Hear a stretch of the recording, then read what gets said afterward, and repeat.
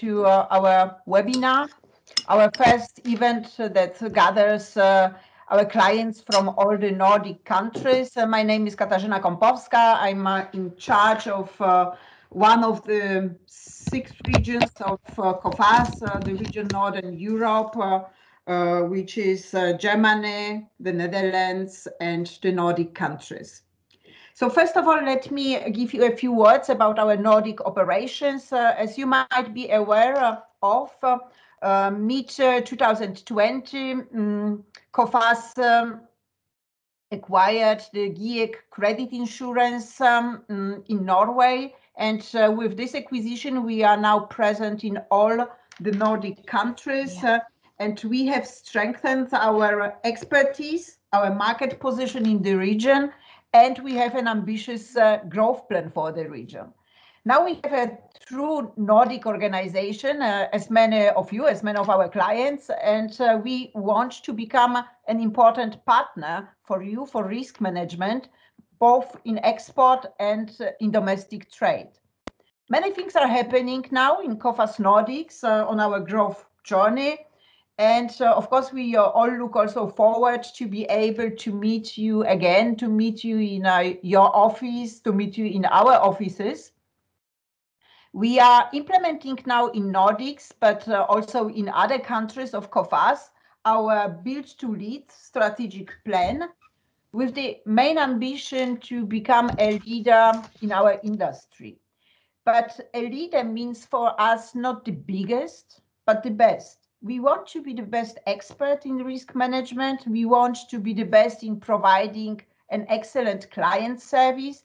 We want to be the best in providing good solutions to manage uh, the trade risk. So you have probably noticed that uh, we grew in Nordics, uh, not only uh, through the recent acquisition, but also we, we have attracted new great experts in many countries. We have strengthened our operational teams and we keep investing and developing our tools and solutions. So one highlight here, as you know, we manage uh, as Coface, uh, uh, we manage worldwide over 500 billion exposure, trade credit exposure in more than 200 countries. And uh, we manage this uh, uh, using the, the best information having access to millions of data with daily updates on payment defaults, on important changes, uh, uh, using the best predictive models to uh, assess the risks. We decided um, end of last year to launch a new offer, the Business Information Solutions, sharing with you, uh, our clients, uh, extremely valuable data and information on companies worldwide information we also use uh, in the management of our risks. So I think it speaks also for the quality. And this information is available now uh, through our new tool uh, Icon. So our business information service uh, offer ranges from providing full reports to providing predictive scores.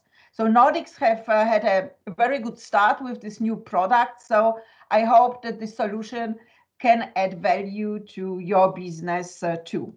So uh, I wanted with this uh, small advertising uh, um, to uh, make you interested in this offer because I'm strongly convinced that uh, it completes very well our credit insurance offer. And this is also a very powerful tool to manage your suppliers or clients' risks. And as it is something new on the market, it was also important to me to, to mention this today. Uh, closing my short introduction, I think that uh, you probably wonder uh, that I did not make any reference until now to the um, economic environment, to the um, unprecedented times we are all going through. We will hear about it more in a few seconds from uh, uh, my colleague, our economist Christiane von Berg. But um, what I want to underline here is I want to thank you all for your trust cooperation. It's very important for us to give you in these times the best service and support you. I have we have in order to do this we have to be much closer to you now we have to understand much better what's going on in your businesses and give you also a much better understanding of our actions and of our assessments. The collaboration is a value which is uh, uh, in current uh, times and environment much more important than ever. So I'm very happy that you also joined our meeting today to hear about uh, our analysis of the situation. We want as to stay transparent, to communicate more, and to stay close to you, and together navigate uh, through these uh, unusual times. So with this said, I uh, leave the floor to Christiane von Berg, um, economist for our region, Northern Europe, uh, who will give us an update uh, on uh, what's going on in the global economy, what are the most important economic trends. Thank you very much. Thank you, Mrs. Kompowska. Hello, everybody. Uh, one short comment uh, again to everybody, please take down your video so that the line will be free for our presentation. That would be very uh, helpful. Thank you very much. Um, again, hi everyone. I'm very happy to be here uh, right now. I am sitting actually in Germany and uh, waving over to you in the Nordics. Um, and uh, I am really looking forward to this new presentation that I brought to you with me. And to be honest, I thought that uh, in the last months, you will have probably heard so much about your own country, about your own region, what's going on in Europe. And then I thought, okay, maybe I should give at least at one of our webinars little bit of change and, and show you what's going on in the rest of the world, because that is something that right now um, is going far away. And I thought it would be helpful if you have a view also what's going on in the emerging markets, what's going on in Asia and Latin America, so that you have at least a, a general view in the next webinars, I promise we will come back to Europe again so uh, that you have a little bit of change with Coface. We start with the emerging markets and uh, well, most of the times we start with some GDP numbers. So how was the year 2020 and how is in our view uh, the outlook for 2021? And um, I have prepared some of the major emerging markets, or tried to give you some examples from different regions. And as you see, well, 2020, of course, was uh, a very bad year. I think everybody knows that. That's not a, a secret or something else. For many countries, like, for example, uh, India, but also Mexico, um, or especially Croatia. This was the strongest recession since, and now hold on to your seats, 1946. So it was the strongest recession since one year after the end of World War II. I mean, nobody of us can remember it, but um, we we have all seen the pictures. So it was really devastating, and uh, and that is something that we have to keep in mind when we talk now about economic development, etc. Because in the Nordics, um, well, most of the Nordics, um, it was really, um, yeah, a recession, but not as strong. I mean, it was the strongest recession since around 2009. But for the rest of the world, it was definitely a stronger impact. And that's something, again, that we have to keep in mind. You will see we have two different countries where it looks, wow, there is no recession really in, um, in 2020. And that's uh, China and Turkey. Well, is it or is it not? Turkey. Uh, no, we start with China. China. Um, China is a country with 1.3 billion people. And this means they have still a very strong growth potential. So in normal times, uh, we would have seen growth rates around 7%, 7.5%. In the last years already, we had a slowdown in economic development, around 6%, and they were not really happy about it. But yeah, that's that's the thing when you have a, an economy that is maturing more and more. So when you look now at this 2.3%, this is a recession in Chinese terms. So everybody you can ask in China, 2.3%, that's really, really low. So you have to think of what is the potential of an economy and what has happened. The other thing is Turkey. well, Turkey, we have a plus of 1.8%. That is good, of course, and uh, therefore we cannot say that there was a recession there. However, we have to remind, be reminded that 2019 there was already a big recession, and these are growth developments from one country to another, and that means that yeah, well, if you had already a recession, then it's not as easy to go to the next year of a recession, but uh, that you have an increase. And uh, we will come to that in the next slide where we have a closer look on what has happened there. But yes, we have a, a positive growth dynamic in 2020 for Turkey and also in the expectation for 2021. For most, we have an, uh, an increase here, which is um, in general okay.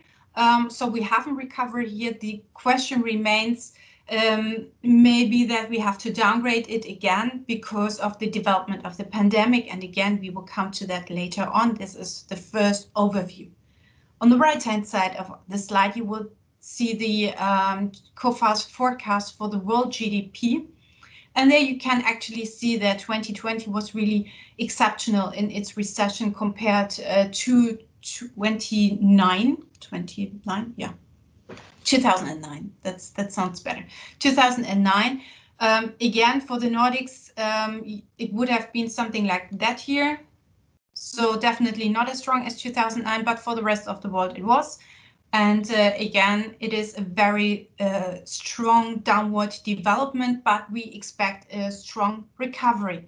Please be reminded, these are not levels. It doesn't mean that at the end of 2021, we are definitely above the level that levels that we have seen in the past.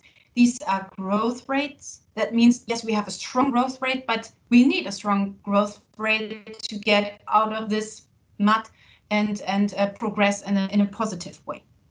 So I said we will go to the details of what has happened in 2020 in several uh, emerging markets, and that's what you can see here in this next slide. What do you see here actually? Well, I thought, okay, um, maybe we want to know where are we right now at the end of 2020. The first uh, growth numbers, I think for Q1 were just released, but not, uh, but only for, I think, China. So we will have a look uh, for all of them for Q4 2020. And what I did, it's quite simple. I just take all the growth numbers and base them on Q4 2019 to zero, or well, in that term, or to 100. And then I go from there.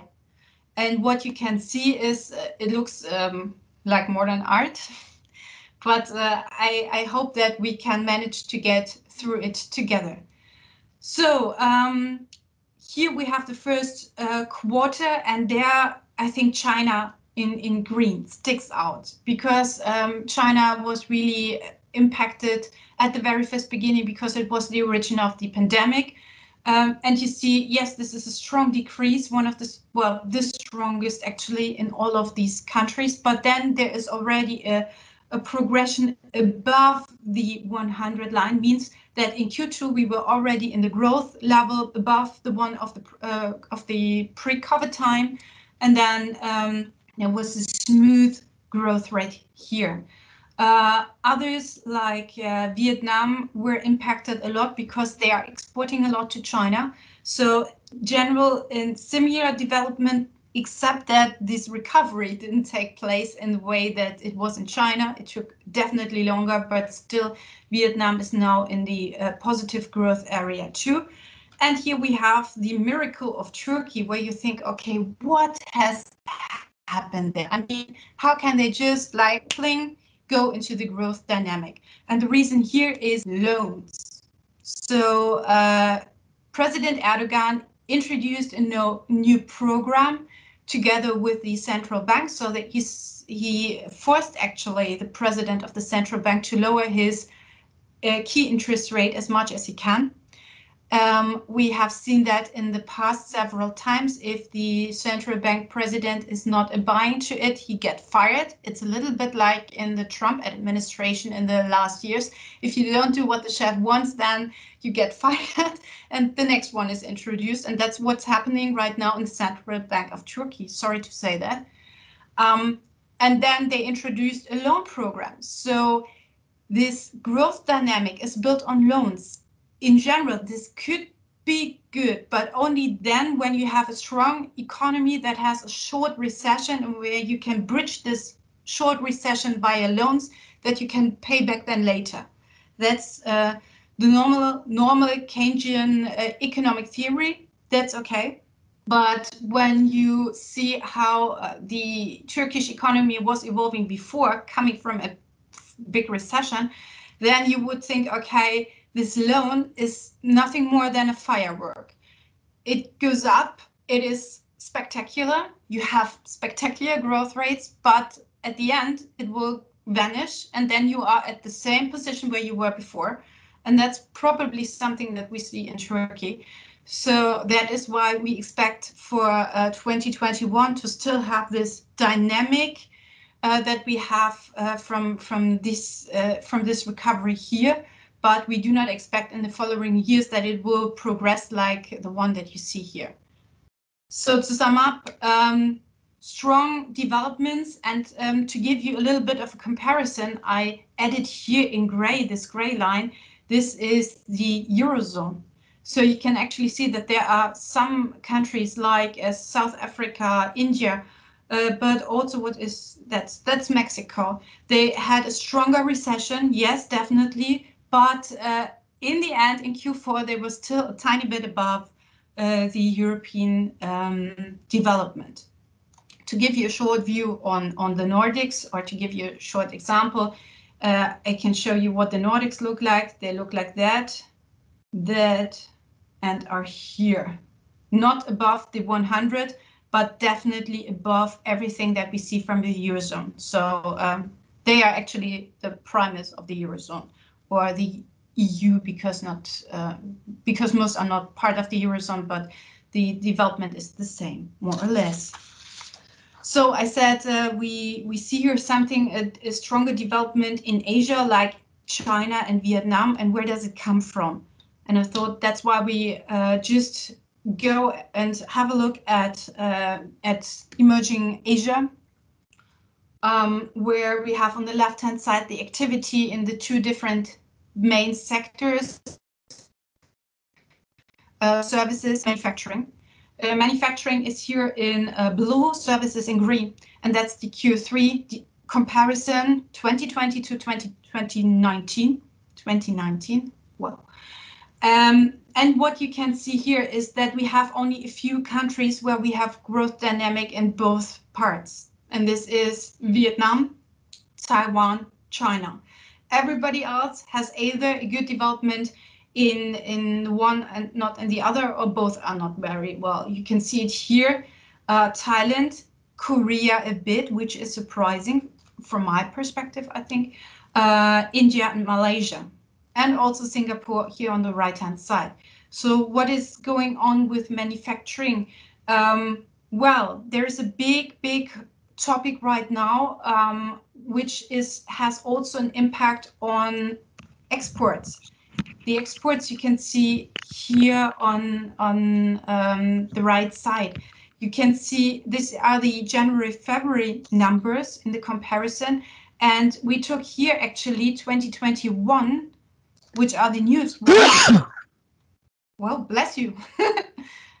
uh, versus 2019. Why? Because uh, in Asia, the, the pandemic already began in January 2020, and we wanted to see how it is uh, in comparison to the pre-COVID times. And what you can see here is that Vietnam, China, Hong Kong a bit, but Hong Kong, please take Hong Kong out, out because Hong Kong is a lot of reinvestment from China. Taiwan and India are doing quite well. And the reason behind this is that they are in general, strong in manufacturing and especially in chip production. Chip production is right now this running trend all over. We have a very strong um, demand for it in automotive, in um, different other manufacturing subsectors, and um, that's what's running right now. Manufacturing in general but especially chip manufacturing. The whole process of the recovery depends really on what you are producing and where you are sending it. That's the main part. And of course, in which sector you are good at, which is combined, of course. And that's something that you can see here, uh, where we just had a look on the world market of different sectors and see how they evolved in 2020. And uh, here's we we have here the comparison again, Q4 2020 to Q4 2019. And uh, we have here on, on, the, on this axis the turnover development. So have the turnover decreased or increased? I think it's no surprise that most of them have a turnover decrease. And uh, the net debt ratio, so how has the debt developed in uh, the last uh, year? And uh, well, I think what's quite clear is that here textile clothing is doing really bad because, well, first of all, production came to um, to stop at the beginning of the pandemic and then the demand decreases a lot. I don't know when you were uh, last shopping, maybe um, when you are from Sweden, you have actually the possibility to go shopping more in shops. But um, for example, here in Germany, due to lockdowns, um, shops are closed, non-essential shops are closed since mid-December and haven't really opened yet.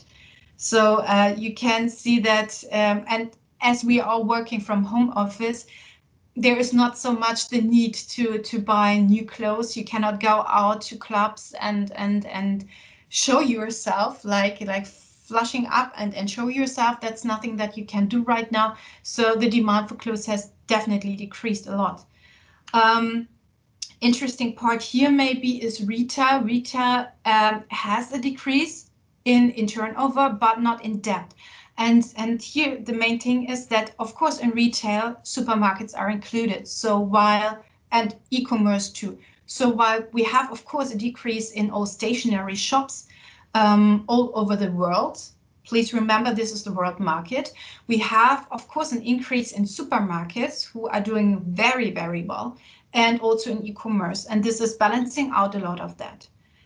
One interesting point is this little thing here, ICT. ICT stands for Information and Communication Technology.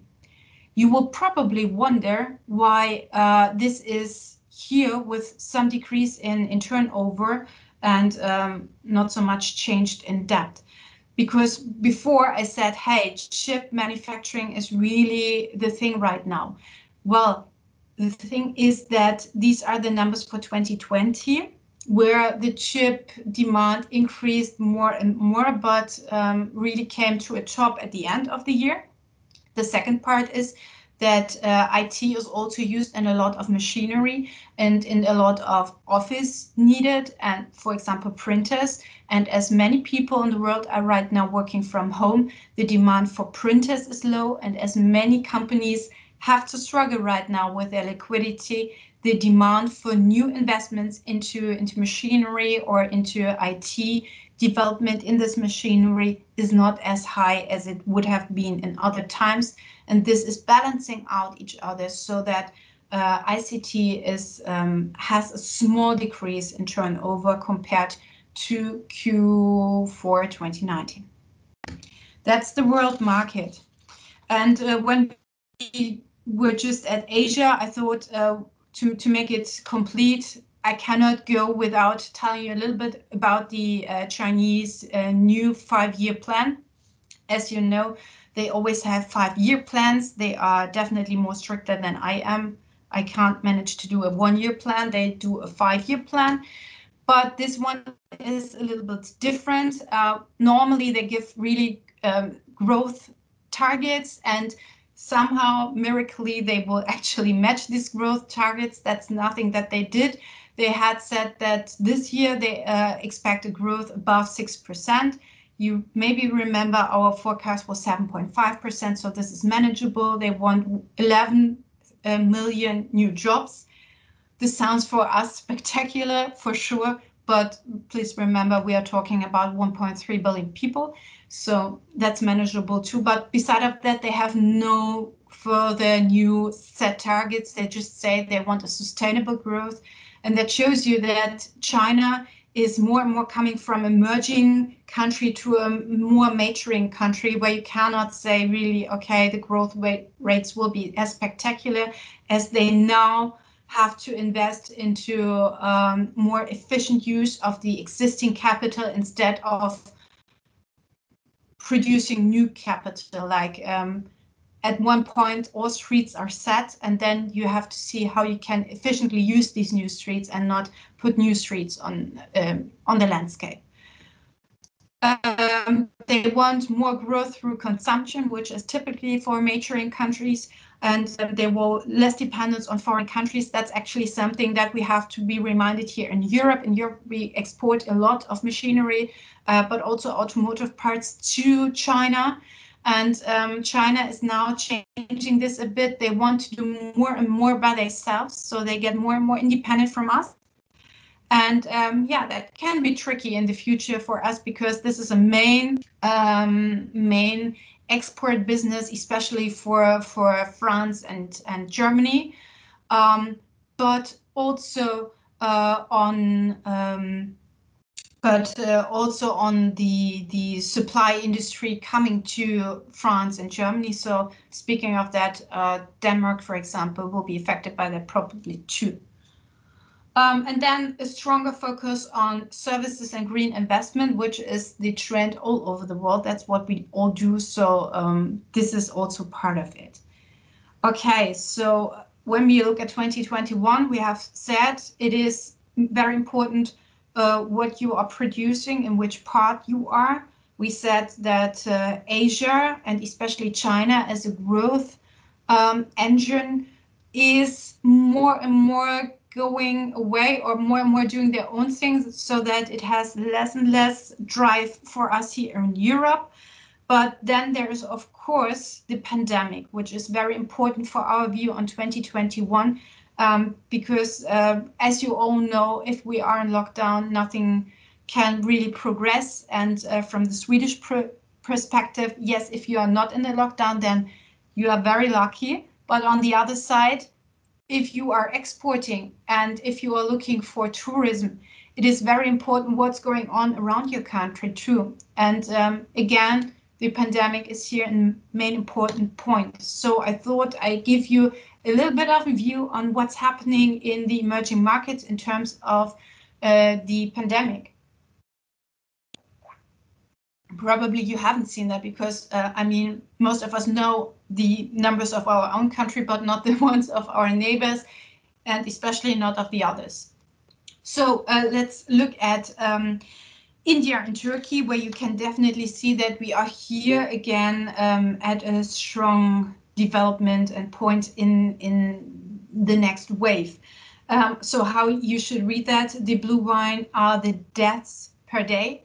The green one is the new cases per day and we start at January 2020 and um, then go go far away. This last level was the level of last Friday. So of course, between the days, times are changing. But what you can see is that, for example, in India, there were no time where we had higher cases per day. And that's, uh, of course, a very important point. And you please look here, we have different scales, of course we are here at 150,000 per day. That's that's really important. Turkey also at a very high, especially also in deaths. So there is really a, um, a very strong pressure to do something. While, um, okay, no, wait, uh, we go here. Brazil, the same situation. Um, again, strong death numbers. Uh, and Chile, also on rising, however, not as not as uh, strong in the level as in the others. Then we have Russia and the United Ameri uh, Arabian Emirates. Both are quite good in vaccination. Russia has its own uh, vaccine called uh, Sputnik V, uh, v and uh, and the United Arabian Emirates have already reserved a lot of BioNTech Pfizer, uh, Pfizer products, so they are um, vaccinating a lot. We will see that in the next slide. So they are more and more taking the numbers down. And then we have China and South Africa. Believe it or not, China has an own vaccine. Yeah, that's for sure. However, uh, my colleague from China told me they are not vac vaccinating as much. The reason why the numbers is flat, and with flat we say, okay, there are five cases per day, so nothing, um, is the strong um, the strong quarantine rules in, in China. So it's not that they have vaccinated already so much, but that they have really the pandemic under control due to the strong quarantine rules. If you are in quarantine there, you have really, I, I promise you, no chance at all to, to leave the quarantine ever. Um, and because of this strong surveillance. And that's something interesting here because they managed even without um, without so much vaccination to get it under control so that life can go on in China. And in South Africa, somehow this has happened here too. The numbers are again very low compared to others, although uh, again, they are not that far in vaccination and they are actually not that strong in, in, um, in um. Maybe it has something to do that people are far away from each other and uh, the heat of the country will probably help. But um, these are some points that uh, that are quite interesting. And here we go to the vaccination numbers, which I think um, are very interesting. One first point, um, I have added um, the Nordic countries be because I think it's helpful for you to have a good comparison how the others are compared to you. And maybe um, you will see numbers that are maybe not so familiar to you, but um, please have a look at fully. What does fully mean? so for me, it is important to know when everybody has the full um, protection due to the uh, vaccination, which means uh, for if you are still using AstraZeneca, two shots, if you're using BioNTech, two shots. Um, so these or Moderna is one shot. And I think these are the ones who are used more or less in, in most parts of the world. So for me, it is important when everybody has the two shots. So I'm only counting the two shots. I know that you have several countries, for example, in Finland, we know it, that uh, that are using, that are right now um, giving a lot of first shots. And then later on, after these uh, three months in between, they're going to the second um, to the second shot. And that's only the the point where I actually count them in these numbers. So um, that's why uh, maybe you will find your own country a little bit lower. Um, nevertheless, the progress is on the way. But for me right now, it's only important when you have two shots, because for me, it's important to know when the lockdown ends for your country. And when you look at the numbers, it's quite interesting that, of course, United, the United States are very far uh, uh, on the first line. And uh, actually, this is not the, the complete order.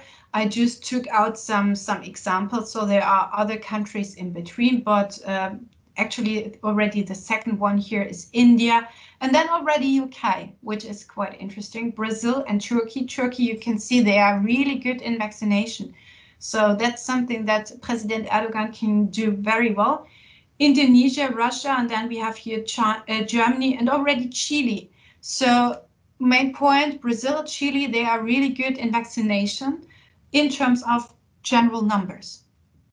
And then here is already Israel um, and so on. Here some Nordic countries, which um, actually, if you would take all the countries in the world, you are still on the upper part because it goes down, down, down, down, down.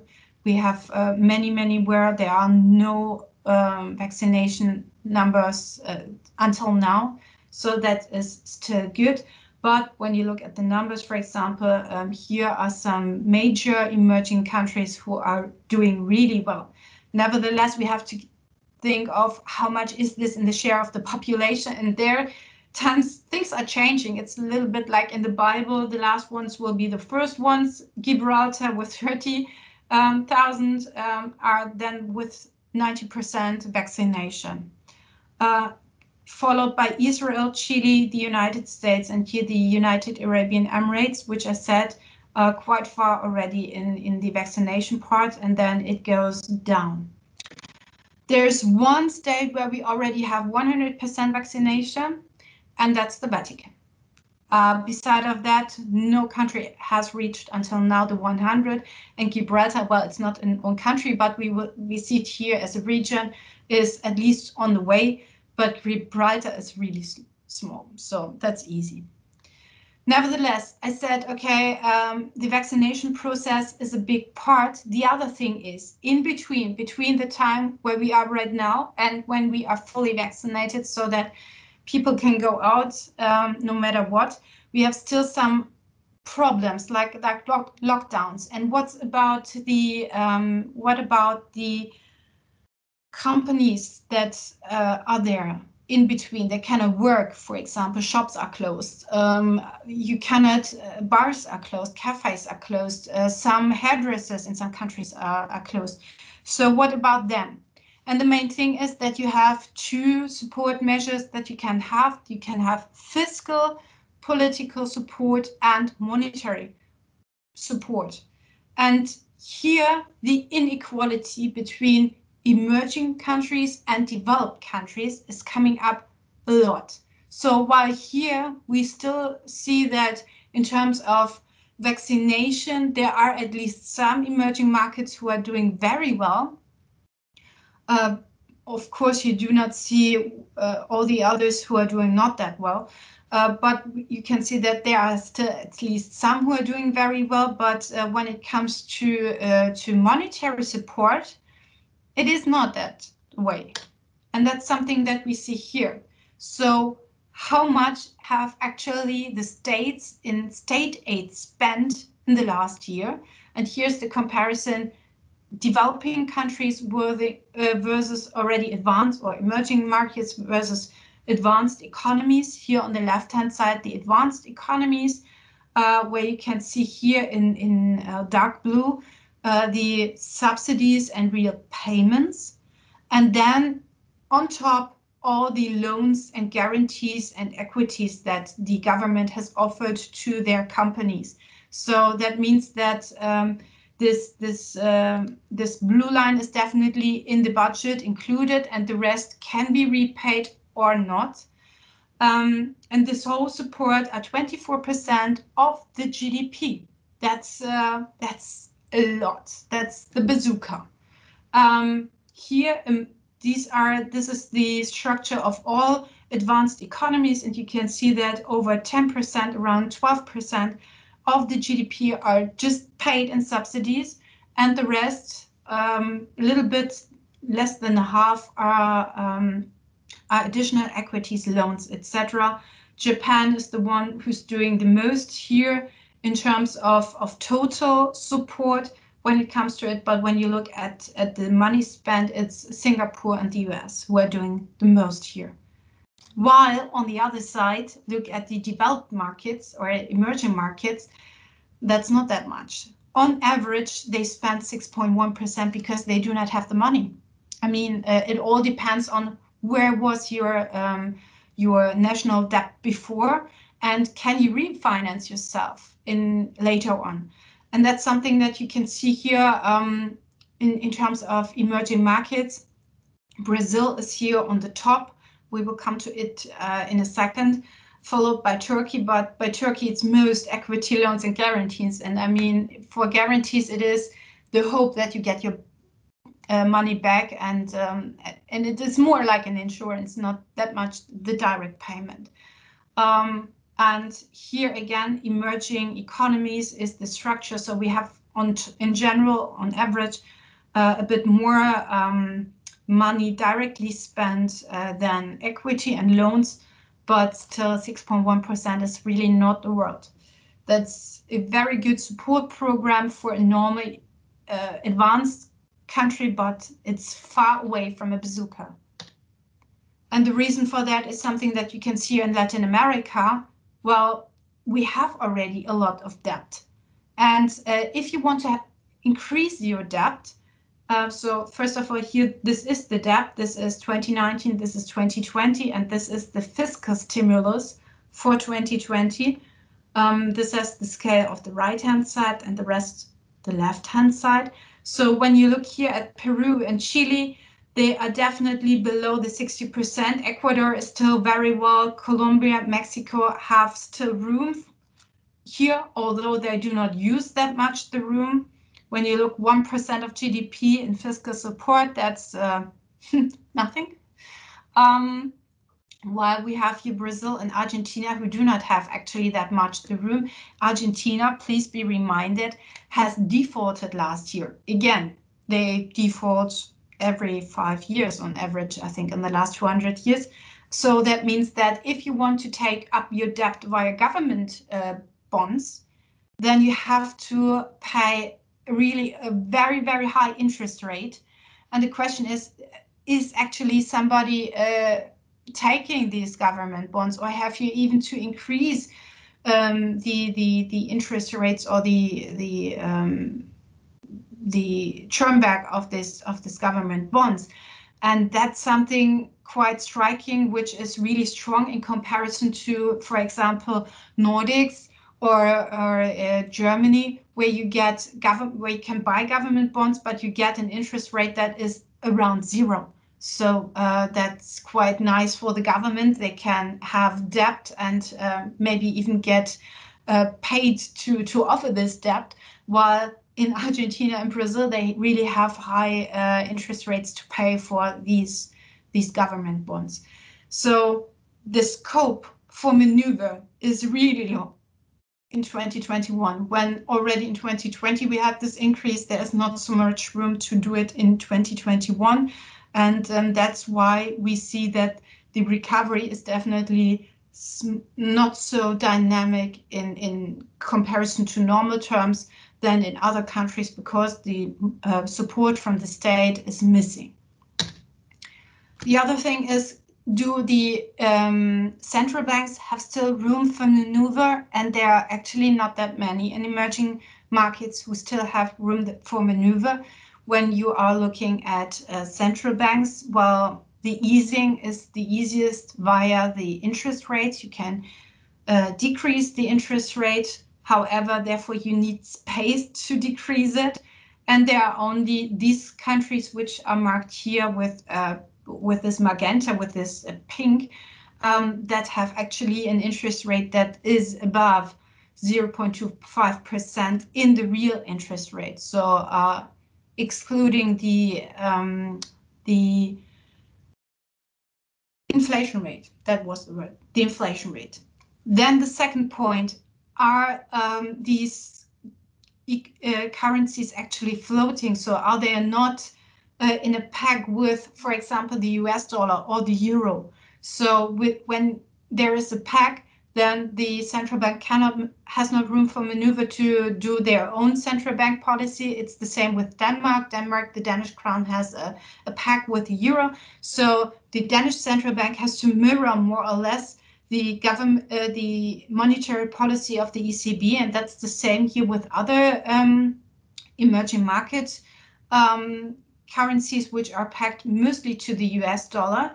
Um, that is true for everything that is white. Everything that is purple here has their own central bank policy, so they can do actually something. However, then there is the factor if you are decreasing it, the, um, you are um, uh, there's a depression fa factor on your currency. And uh, then the question is, can you pay your current account deficit anymore? And if you want to pay it, it has to be, or the deficit cannot be too too high, like uh, it has to be below minus minus three percent. Is this the case? Yes, here no, yes, yes, yes. So they have at least a current account that is above minus minus three percent, and then you need the reserves of the currency in which you are have debt and the question is, do you have enough reserves? So if you have everything of these four factors, then you have monetary policy leeway. Then you have room for maneuver. And where is this actually the case? Well, it is the case in Indonesia and Mexico and in Russia. In no other uh, in no other country you have all these different factors fulfilled, which means that first you do not you have not room that much to maneuver in the fiscal policy, and second, not in the monetary policy either. And this brings, of course, a lot of political risk with each other. You have still the pandemic going on, you cannot work, you do not get any support anymore, and income is going out, is, is, is more and more going into this, this scissor dynamic. The ones who were rich get more rich. The ones who didn't have anything, they get even lower. And that's something that you can see here um, as one of my uh, last slides.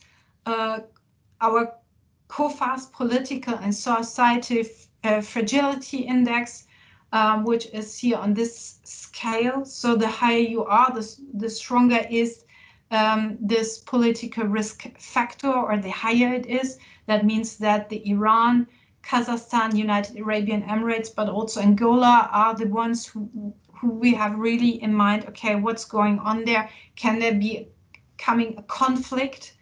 And then the Gini coefficient, which shows you the higher the Gini coefficient, the stronger is the scissor between the income um, inequality. And uh, South Africa is unfortunately here leading. So while the numbers of the pandemic are right now again low, things are doing are, are okay. But whenever the pandemic goes up again, then we really have problem in South Africa because the support is not there. We we have no room for support anymore. Um, the the inequality in the population is very high, and uh, we have another pandemic um, coming on with more dying people. This is really uh, an environment where political risks are increasing a lot. And that's something that, of course, we have in mind when we are doing our country risk assessment. And that's all from my side now. I give back to Helle and I am looking for your questions. Then, first of all, thanks a lot to all the participants. It is very nice to uh, have this opportunity to meet uh, in, in a form like this as a webinar. Also, uh, a warm thanks to, to Katarzyna Kompowska and Christiane von Berg. It's very nice uh, for you to spend your time here in, in the Nordics as, uh, as these webinars. And we, of course, look forward to have you back again when we come back from our holidays. So to all of you, uh, I would say let's stay in contact because it is changing times. Uh, we have a lot of things in front of us, both uh, on uh, reopening plans and the corona effect and also hopefully the possibilities to meet very soon physically in our offices around the Nordics. So that will be a very thing, very good thing to look forward to. And hopefully around our summer holidays, we will be able to meet again. Let, let's hope that because it also means a lot to our economies in the Nordics that we can start opening again and continue our business. So let's stay in close contact, all of us, with our contact persons and share opinions and ideas, and also, uh, of course, what is happening in the world around us. So thanks a lot to everyone, and we really look forward to meet you all again. And have a nice day.